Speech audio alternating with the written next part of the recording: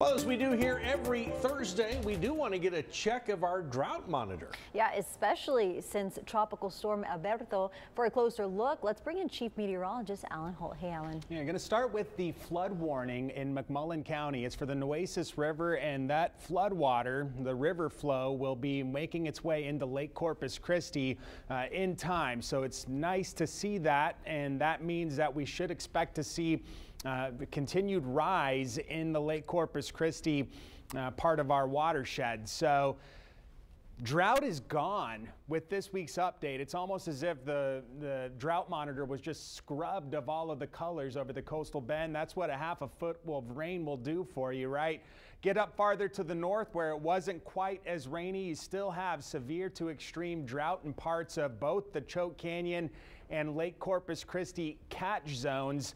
And the week we remained steady since this time last week. So uh, the watershed is holding steady. It's still down over the last month, which doesn't include, you know, all the rain that Alberto brought.